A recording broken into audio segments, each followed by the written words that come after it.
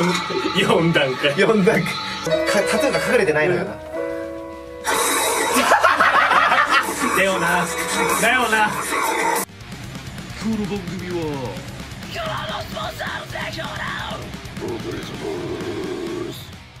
よーしよーし。よーし。よーし。や取るぞ。うるせ休止終了すごいこの価格。何これ？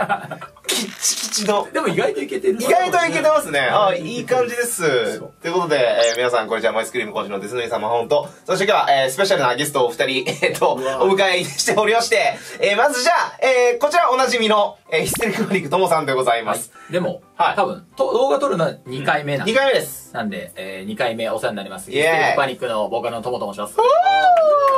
だ。本物だ。そして、あこの人も本物だ。デスボ見習いの声優の峰田博はいはい。よろしくお願いします。声優さん来た、はい。本物の声優だ。本物の声優本物だ。だ本物のマイスクリーム講師だ。全員本物。あ、ちゃんと挨拶ああやってやるんだと思って。そうそうそうそうそうそう。僕めちゃくちゃ見てたんだよね。ありがとうございます。ありがとうございます。本当ありがとうございます。本当ねレッスンにね、来ていただいている、あの、声優さんのミネズさんという方ですね、はい。ちょっとこの撮影する、えー前の週にレッスン来ていただいたんですけど、ちょっと出てくれませんっていう感じで、ちょっと、あの、軽々しくオファーさせてもらったんですけども、あの、なんと快く快諾していただきまして、はい。ありがとうございありがとうございます。ありがとうございます。光栄な限りですよ。いやいやいや、とんでもないです。でねこう見えてデスボスするんですよ、この人。そう。趣味がデスボですこんなシュッとしてるのにい。や、そうそう、どんな趣味やねん。こんなシュッとしてる。趣味デスボって初めて聞いたわ。いややっぱ汚ければ汚いほどいいあれはねいいっすね。真逆のワードしか出てこないですね。でも、ギャップですよね。こんな顔立ち綺麗な人が汚い声出してたらやっぱおもろいんで。確かに。よ、より、この、このルックスだったら、よりゲボゲボした声これね。そう綺麗なシャウトじゃなくて、あそうそうそうそうそう。レンジが広い方が。その方がいいですよね。驚きがあるんでね。そうっていうところでですね、はいあの、こんなメンツを、えっ、と、取り揃えましてですね、今日何をお送りしていくかと、えー申しますとですね、はいあの、以前僕、えっ、と、こんな、この動画、えっ、と、この辺に出てるかなと思うんですけど、えっ、と、シャウト四天王っていう動画撮ったんですよ。これ何の動画かっていうと、僕がやばいと思う、まあ、デスボイス使いですね、のボーカリストを4人、えー選出して、えー勝手に解説するっていう動画だったんですけど、はいはいそうなんです。で、その中で、こちらにいらっしゃる、ともさんですね。何を隠そう。はいもう一番もうわけわかんねえ人だと僕思ってるんで、います。本当にねねすごいっすよマジでちょっと知ってますもんね。ちょっと知ってますっていうか僕魔法さんの動画多分全部見てるんでありがとうございます。わかるんですよねあれだからどのどの動画だなとかもわかるんですよあーうれあ、嬉しい嬉しい。ガチ勢だガチ勢だ。僕より詳しいわ。そうそう。だからその中でですね、ともさんを紹介させてもらいまして。はいで、そんなとも、そ忖度だって書いてあります。あそう全然違うのよ。忖度。本当に思ってるから。そうなんです。でも忖度なしで、本当すげえなと思ってるともさんに、逆に、逆にじゃないけどお、その四天王だと僕が思ってるともさんからうん、逆にその四天王を教えてもらおうっていう回でございます。やった！いやー最高っていうのでですね、ともさんにあの、無茶ぶりを先日させていただきまして、ちょっと4人選んでくださいというお声掛けをさせていただいたんですよね。用意していただいたんですか？今日。でも本当、なんかこの企画いただく前から、は俺の中で結構本当に四天王お的な、なんかこの人たちの声は出せねえなっていうの やばいが、やばい。本当に、本当に4人いるんですよ。おーすごいすごいぴったりねで、めちゃめちゃいいやん。まあ割とちゃんとメジャーな人たちというか、はいはいあほの、前、前あの、ニッチすぎでなんかあの、ビール瓶で。ああいつはもうあれやばかったあれやばかっあいつ入ってないっすよ。よかあいたいたいたったよかった。安心した。あ、た100再生ぐらいのやつそうそうそうそうそうそう。うちらの動画1枚いってる。あっちの方がそうそうそうそうそう。そっか。そういうニッチじゃなくて、はまあもともと本当に自分の中で思ってる視点のみたいな4人がちょうどいたんで、めっちゃいい。なんでもう全然、あ、もうすぐ、あ、それならいけるっていうやっ感じしたっすもんね。た。そうですよね。うんいや、ありがとうございます。はいなので、ちょうど4人いらっしゃるということなんで、ちょっとこれを、えっ、と、まあ、ミネスさんとはい、僕が、まあ、完全に今初見なんですよ。いやほんと何来るかわかんないですわかんないですよね。何が飛んでくるか。何もほんと耳壊れるかもしれないそうそうそうそう。最後の動画になるかいやもしれない。本当にって思ってるんで、はいあのワクワク楽しみにえーしてるんでございますけれども、その、まあ、リアクションというか、うんとか、あと皆さんにとっての参考になるといいなっていう、そんな動画になっておりますので、ぜひ最後までご覧いただければと思っております。こんな感じで、このチャンネルでは日々発生関係の話とか、えー、ボイトレ関係の話、アップロードしておりますので、えーまだチャンネル登録をお済みでない方、この機会にぜひよろしくお願いします。あとは、ミネさんの情報とか、ヒスパニの情報とか、ダッシュ消しました今消しましたなんでや戻しました載せときますんで。戻しました。編集大変編集大変カットされるかもしれない外注、外注しよう、外注、しよう。やってもらおう。編集さんにやってもらおう。っていうところなんでですね、えーぜひ、あの、最後までご覧いただければと思います。ということで、じゃあ本編、いっちゃいましょう。はい。じゃあ、一人目。やばそう用意完了。やばそうですね。やばそうですねマジでトモさんが出せないって言ってるもんね。俺が選ぶデスボイス四天王一人目。はい。はいまあ、まずは、はい。みんな大好き、はいディッキー・アレンから。出たー ディッキー出たーいやまあ、まあまあまあまあね手堅いところで。まあそうですね、手堅いっすね。確かに。あ先に言っときたいんですけど、はここからちょいちょいあの、ガイタレ紹介することがあるんですけど、い。ぜひ。あの、読み方が、はい。あその、こう、諸説あったりとか、間違えてる可能性もあるんですけど、うん。あの、それは僕がバカなだけなんで、間違えてても、あの、気にしないでください。文句言うなよ。僕に学がないだけなんで、読み方違うとか、うん。スペルスペルのあれが違うとかは、あの、受け付けてないので、逆に正しいの載せといてくれればいいです。そうです、そうです、そうです。うん。皆さん優しいからね。うん。コメント欄で正解を確認してください。お願いします。あのディッキー・アレン、来た。はい。えっ、と、インファント・アナイアレーターっていう。合ってます。の、いや、なんか人によって違うんですよ、これ。なんかアニヒレーター。なんか言ってる人もいる。おそらくインファント・アナイアレーターのボーカルとして、はいはいはいはいえー有名な方で、まあ、そうですねいわゆる結構こうデスコアのこういう、やっぱボーカリストの話出るときには、まず先に名前が上がるんじゃないか。来ますね。よく、例えばじゃあ、ダウンタウンが出てきたときに、うんうんお笑い歴史で言うと、うんダウンタウン以前、ダウンタウン以降にはいはいはい。言われるみたいなぐらい、ディッキー・アレン以前、ディッキー・アレン以降で、もう変わって、歴史だ。歴史っすね。教科書だ。で、インファントアナイレアナイレーターがは、ボーカルが途中で変わってるん変ですよわりましたね。うんで、2代目なんですよ。ーで、に今3枚アルバム出してるんですけど、2枚目と3枚目がこのディッキー・アレンめっちゃ勉強になります。お勉強会してお勉強会してますね。セカンドが出たのが2016年なんですけど、その2016年から、なるほどね。俺変わったなと思って、シャの歴史が。おーなるほど、なるほど。2016年以降にこのディッキー・アレンフォロワーがめちゃめちゃ増えたんです、界隈で。海外はもちろん日本でも、もうそのみんなディッキーを目指す、ディッキーを目指せで、ってことは僕らも、うっすらそれは受け継いでますよね、多分。そうそう。上流から来てるわけそうそうそうそうそうですよね確だからそのムーブメントを作った第一人者だと思ってて。やばやば僕らの、だから親ですよね。いやいや本当始祖始祖始祖始祖最近話題の、やっぱウィル・ラモスなんかも、やっぱりここの影響が強いんいや、強いっすねいう。。いや、めっちゃ強いですよね。ウィル・ラモスはわかる世代ですからね。そうウィル・ラモス世代やったら。で、前、まあ、本さんとも喋ったんですけど、はいその、ウィル・ラモスで言うと、あの、ウィル・ラモスが今のロラシュアに加入して、はい。出した一発目の時に、あの、ブレイクダウンがやばいっていうのがすごく話題になってああ、なるほど、なるほど、なるほど。鼻鳴らすやつ。確かに。あーってね。そうそうそうあれだあれだあれね。あれ。で、あれあれあれがやばいっていうので、結構、ロナシュは一発目の、分かってきたそのドカンったんですけど、あれね。あれも源流をたどると、もう、あれね2016年に、インファントが、それね。セカンドアルバムの1曲目でやってるんですそうよ、なんですよ。よね。はいはいはいはい。だから多分、おそらくこれは俺の予想ですけど、はいそれのオマージュというか、リスペクト込みのオマージュだと思ったんですけど、思います思います。意外とその、ロナシュアから知った人が多くて、そうですよね。なんであれってなったんですけど、うんうん。デスコを聞いてる人からしたら、いや、あれインファント前からやってたよ。いやそうなんですよね。なんで、その、ここ最近のシャウトのトレンドの始祖っていうところで一人目が、やったディッキー・アレンですえだっ。てもういいですねあれでも悪魔的なのにそうもう悪魔じゃないですかもう悪魔の親、親、ー。そうそうそうそう悪魔の親。真っ黒。まナイトメア。闇そうそう闇闇闇闇。ちなみにインファントは聞いたことありました？かインファント多分僕名前を読めずに聞いてることが結構あるんでああるあ聞いてる可能性あるんですよ多分あるあるですね。聞けばわかると思うんですよまあ一回じゃあ、聞いてみましょう。まあデスコアですね。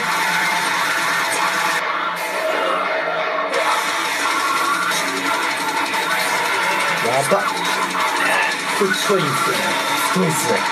いや、これ確かにその、なんだろう、国内にはまだいないレベルかもしれないっすね。うん見なくないですかその、いや国見ないっすね見ないっすよね。見ないっすこんなに汚い人。汚くてもう太くてもうもうなんかもう確かにえーってなっちゃう結構音源では、は結構ちらほら国内でも聞いたことあるんですけど、はいはいはいはい。ライブでこのクオリティ出してる人は俺まだ出会ってないです。なるほど結構見見てるっすけど、見てるつもりですけど、はいはいはいはいはい。このクオリティ到達してる人はなかなかいないんじゃないかな。いやそうっすねデッキ結構 SNS で生配信とかをちょくちょく、あの、スイッチとかでやって、なるほど。ボーカルカバーしてるところを、あの、ライブしたりするんで、あー、なるほど。本当に声出てました。へー、なるほど、なるほど、なるほど。マジで出てます。始祖ってことですね。いや、しそうです。いや、素晴らしい。だから一人目にこれを持ってくるのは、そうっす。間違いないですね。そうっすね。もうこの人からやっぱり、なあ。ここ最近のシャウトのトレンドがやっぱ、ガラッと変わったっていうイメージが俺は強いですね。ですって、だからここの人ですって。うん一番上の人ですピラミッドのピラミッドがこう来て、こう受け継いで、受け継いで、みたいな広がってってる感じの人ですね。はいはいはいっていうのが一人目。はい。デッキありがとうございます。いやもう、化け物もうや、まあ、化け物よっ来たい冷蔵庫来たい褒め褒め褒めてます褒めてますすいません褒めてます新しい。褒めてる褒めてる新しいフィジークの大会みたいな。そうそうそうそうそうそう。じゃあ二人目か。二人目行きましょう。リッキーね。いやー聞いたことあったのよリッキーは確かに。いはいや、なんかトモさんやっぱその、外タレにいやそう明るいですからね。しかもあのみんなが見てないとこを見つける能力まであるからうんビール瓶がね。いやさ あれどうやって検索したら出てくる本当にそう。あれはあの、好きなバンドで検索したら、ボーカルが、次回ね。自害。はいはいまあ、それ自体がちょっと似てそう、それして。はい二人目あお願いします。もうこれも、はいもう、そりゃ四天王といえば、この人は入るだろうという、素晴らしい。アレックスさんですね。ああー、出ーあ大好きもはいたまあ来るか。そアレッう、まあまあ、アレッックスですよねア。レックステリブルね。ういやー最高最高ですね。もう、この人は、やばいっあのすよこ、いつビビーストですから。あー、ビーストだとは。いセンスリルビースト。そうなんか、さっきのディッキーは、はい結構テクニックの人だと思うんそうですねう。んスキルですね。そうなんですよ。なんかほんと声色がいろいろあったり、うんそうですね一個一個のが深いって感じなんですけど、うんクオリティが高いですよね。うんもうアレックスは、うんあの、参考にならない。いや、ならない。いや、わかるわかる。エンジンがもう、あそうなんです。もう、やばい。なんか、あの、陸上選手で言うと、ボルトみたいな感じです。いや、ボルトですね。室伏ですよね。もう、うんそう、フィジカルがすごくてう、んやばいと思う。だから、しゃすごいんですけど、んあの一番参考にしない人です。そうですね。目指してもいいけど、そやっぱこのアレックスは、俺、唯一、今回の視点の中でうん、生で見たことあるんです。おううんマジっすか？来日した時に見に行ってるんですよ。ええあの、マイク外した時のあそうです。出たあれやってました。あの、渋谷サイクロで見ました。あの時か。マイクを取って歌ってたんですよ。いやそれをね、俺前日、自分のツアーでうん山口県にいたんですけど。アレックス見たいがためにメンバーに、いや、俺ちょっと東京行かなきゃいけないからって言って、あの、移動日だったんですけど、はい。あの、新幹線3、4万払って、そのアレックス見るためだけに単独で渋谷行って、すごい。見たんですけど、そんだけ引きつけるんですよ、トモさんを。もう、あの、画面で見た通りの化け物でした。いやマジか。アレックスはが来てたのが2019年のなるほど。うわ1月ぐらいはいうん。の来日公演だったんですけど、はいその日は、あの、国内の確固たるボーカルがやっぱ見に来てました。面いや白い。ー絶対行くだろうないや、行くだろうな。アレックス見に来てました。はい、だろうな。デモンストレーション。これね。これやばいんだよなこれ一番わかりやすい。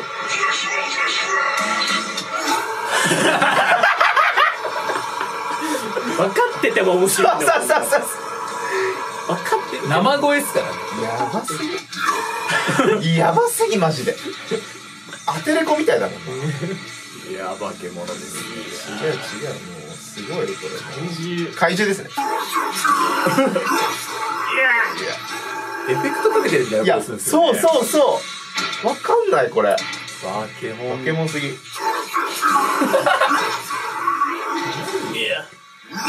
死ぬ死ぬ、人が。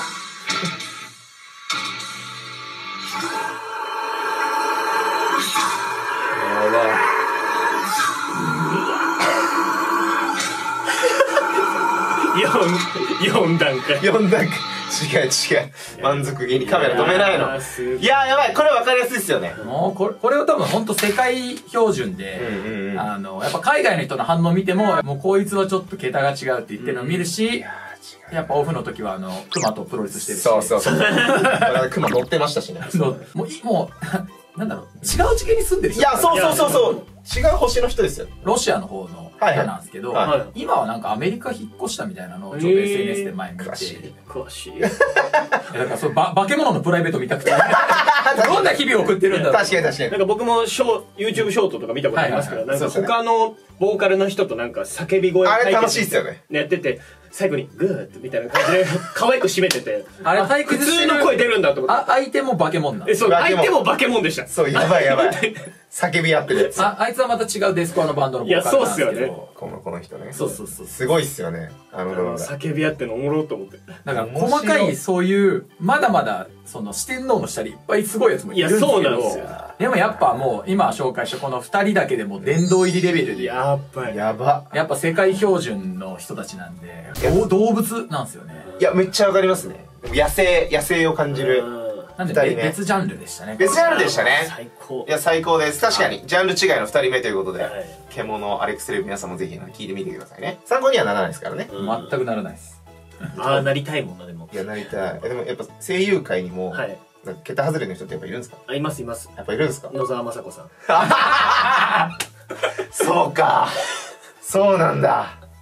やっぱいるわけですねやっ。ぱいっぱいいますけどねそういうあーやっぱなんかレジェンドたちそうは、ですね山寺さんとかもそうはいはいはいはい。いや、すごいな野沢雅子さんはもうなるほど。本当とんでもないですよねこれ面白いな3人目は、えーおいでやす。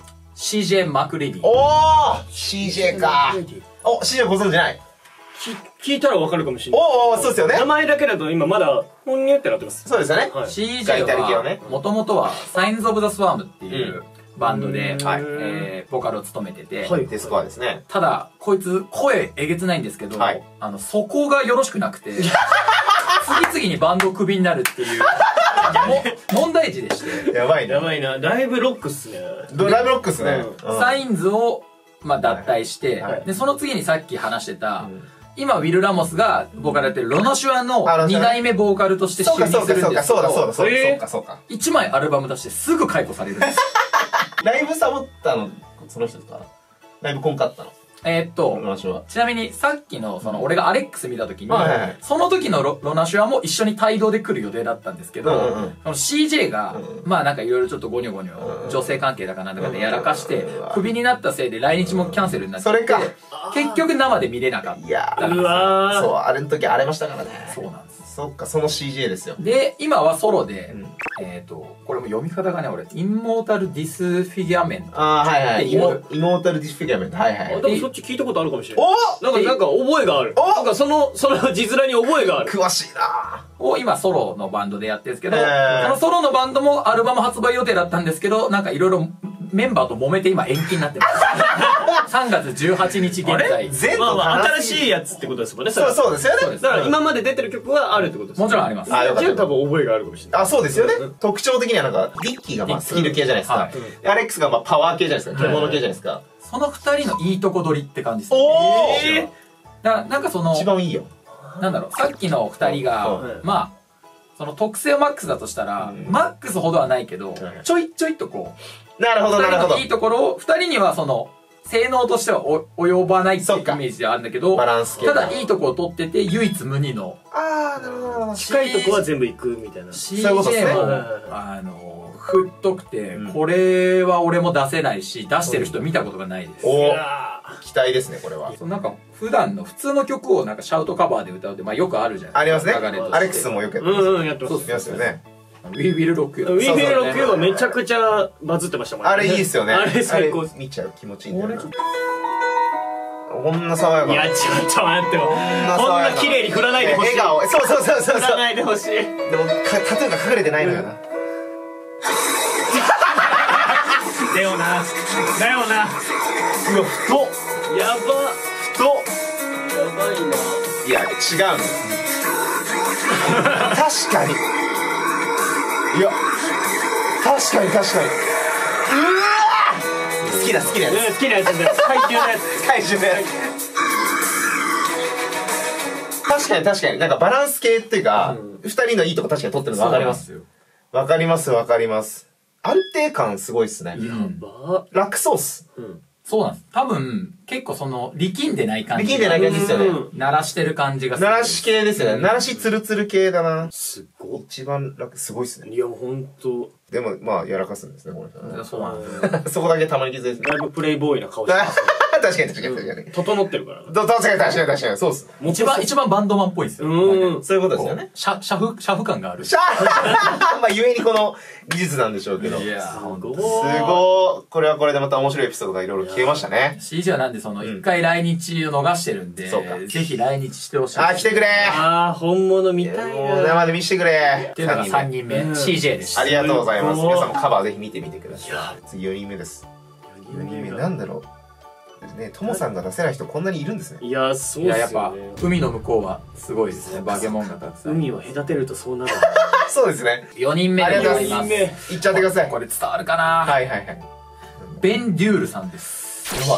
うん、なんか僕は今今のところまだパンって来てないです。僕も来てないではす。やばい。来ベン、デュールさん。ベン・デュールってベンデューいうボーカリストがいまして、ジャンルは？ジャンルもデスコアなんですけデスコア系ど、かはいえっ、と、バンド名聞いたらひょっとしたらわかるかもしれないですけど、 Shadow of Intent。あー。あなんかでも Shadow Intent か。はいはいはい Shadow of Intent と、あと、 Hollow Prophet っていう、ー二つのバンドでボーカルやってて。結構他3人に比べると、ちょっとこう、知名度的には劣るし、ボーカル名だと特にそうかもしれないです。なんですけど、結構そのなんか隠れ名人みたいな感じで。あそうなんだわ今度切り知れるの嬉しいですーいや、隠れ四天王だ。そうです。そうですよ個人的。には、メインはシャドウ・オブ・インテントっていうのなんですけど、はいちょっとそっちが、うんなんて言うんだろう、結構テクデスっぽいというか、うんギターソロが結構ピロピロしてて、あなるほどなるほどなるほど。そっちもちょっとこう目立ってるというか。なんで、うん結構その楽器体がフューチャーされるそうかことが多かなるほどなるほったりど。インストがね。で、サイドプロジェクトでやってるホロープロフェットっての方は、もっと結構がっつりデスコア寄りなんで、なるほど。俺はそっちのホロープロフェットで歌ってる時のベンデュールが好きなんですけど、いいですね。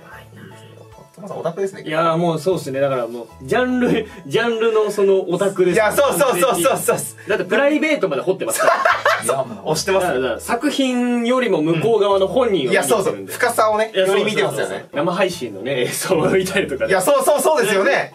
そこまで追わないですから。その、そのために深夜まで起きてたりします。推し活あの、やっぱ時間が違うから、まあ確かに時差がね。時差の時差があるんデ。スコア押してる人珍しいんだよ。珍しいんだよ。そこで栄養摂取してるから。うまいな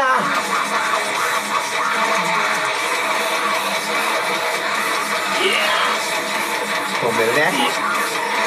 ああ、うまいうまい、めっちゃうまい。みんな楽器だな、もう、もはや。確かに確かに本当そうっすねこれやばい。やばい、これやばい。これやばい。ミドルなんですけど、結構エッジが立ってるといやエッジなんか、なんかすっごいじり。言ってましたねうんなんか、バイオンめちゃくちゃなってた。ビリビリしてる。このエッジ感があるミドルのとこ出してる人ってあんまいないな。確かに。やっぱみんな、多分これ聞いてる人、特にこの画面越しに聞いてる人だと、あんまり音色、そんな違うって思うかもしれないですけど、結構違いますよね。やってる人からすると結構うん違いわかる。違う違う。なんかそう帯域が違う。そうなんですよ帯域が違うの。でもベンデュールはベンデュールにしか出せない。なんか、なんか、特殊な音色というか。そうですよねもう、配合が。結構配合がね。最初の3人が結構ちょっと飛び道具じゃないですけど。結構こうステータス全振りなところあるんですけど、尖ってる部分が。うんベンデュールは一番多分、あの、ああいう五角形とか的にはバランス良くて、ハイもローもミドルも結構ん。味がある。はい。そうですよね。味ありつつ王道みたいな。ローミッドが結構好きですね。そういうことか。わかりますわかります。なんかめっちゃその、こっちに対して強いっていうよりは、ちょっとこう、高めの比重な感じはしますよね。結構息多めな感じがするです。そうですよね。そうですよね。この、このちょっとのこれ、これ垣間見ちる。ょっとやばいっすねよ。後でこれちょっと、掘らないといけない。ここにね。ここのね、何がすごいす。ごい。主ジャンルはデスコアを中心に。そうですね。やっぱ、デスコアでしたね。個人的にはその、その視点の、もういやーいろいろその考えたんですけど、はい。さっきも言ったんですけど、やっぱり、これを見ると、うん。なんか自分も含め日本はまだまだだいやー、それは思いますね。まあ、そそれは思います。やっぱ海の向こうには本当とんでもない見たことない化け物たちがいるんで、まだグランドラインなんですよね。ああ、そうですよね。新世界がね。出てないな本当にそう、思考ってことですよね。いや、本当に。またほんと裏側にはもっとなんか知らないやばいや映像出てないだけでいるかもしれないです。そう、見と。たことない。暗黒大陸みたいなところそうそうそうそうそう、マップに表示されない。これ通常装備だけどみたいな。そうそうそう。君らまだそこなんだ。えーそうなんだみたいな。世界は広いっす。いやいやいや、その世界をよく知るともさんに今日はいろいろ我々あがあ、めちゃくちゃ勉強になり勉ました。強になりましたうんなんね。か見るとこ増えました、さらに。増えましたよね。いや、なんか、声優さん目線で、声優さんなんで、耳もめっちゃいいんで、確かにいやい確かにやいやいやもうあ、誰が一番好きでした？あ、そう僕ですか、僕でもずっとアレックスを 脳筋脳筋ああなりたいってずっと思いないがや、らそうなんですよ。ミレさん意外と脳筋なんですよ。マジで。やっぱあの声出すために一回あの熊と戯れないとそうそうそう。やっぱそっかってなって いや、ならないで、ならないやっぱ獣納得しないでやっぱください。自分も獣だっていうもうね思い込みが大事かもしれないで俺、アレックスシャウシャウトしてんのかなと思ったら、あの動画。熊がぐるぐる言ってた。えじゃあもうクマってことじゃあ、そうそう。そう。本当に。実質クマじゃん。画面見なきゃ。だから熊もこいつ人間かなと思ったけど、一緒の生態してるから。そうそう。あれ俺、熊じゃねえ。熊じゃねえ。熊じゃね敵敵クマどっち？クマ説出たんつって。そっか、じゃあ、アレックスね。そうアレックスがやっぱマモさんどうでした聞いてて。いや、僕はね、僕は、いや、最後の、ごめんなさい、名前何でしたっけ？ベンデュール。ベンデュール好きですね。あ、。本当ですか？なんかその、なんだろうな、癖があるわけじゃないんですけど。確かに。あ、なんか、まあ、さっきおっしゃったように、うん。味がある感じというか、王道の中で自分なりの軸を持ってる人、僕結構好き。技術があって、うん。技術があって、その自分の癖に甘んじてないっていうか。技術土台があった上で、この癖にも触れるぜ、みたいなあ感じの人が僕結構好きなんですけど、その感じがある。ベンのうん。サイドプロジェクトでやってるホロープロフェットってやつ聞くと、うん。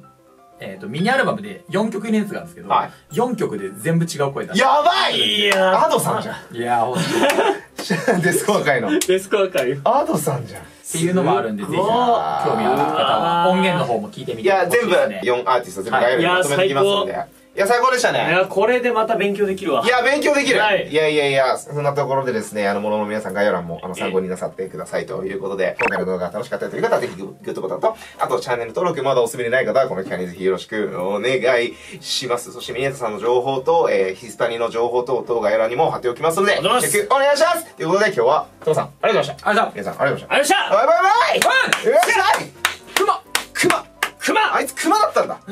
よかった安心した、逆に。